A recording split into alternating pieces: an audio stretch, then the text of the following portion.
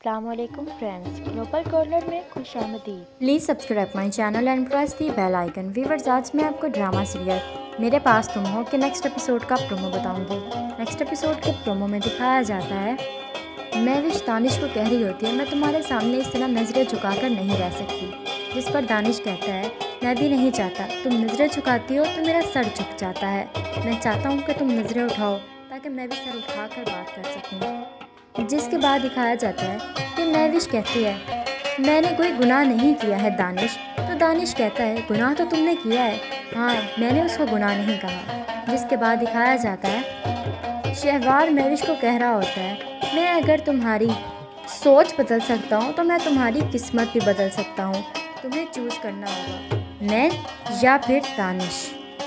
तो व्यूवर्स ये था मेरे पास तुम हो ड्रामे के नेक्स्ट एपिसोड का प्रोमो आप लोगों को क्या लगता है? कि मैरिज किसको चूज़ करेगी? दानिश को, जो कि उससे बहुत मोहब्बत करता है, या फिर शहवार को, जो सिर्फ़ अपने पैसे को दिखाकर मैविश को अपना बनाना चाहता है। अपनी कीमती राय का इजहार कमेंट सेक्शन में ज़रूर कीजिएगा। हमारी वीडियो पसंद आए तो लाइक करें और हमारे चैनल को सब्सक्राइब करें। Thank you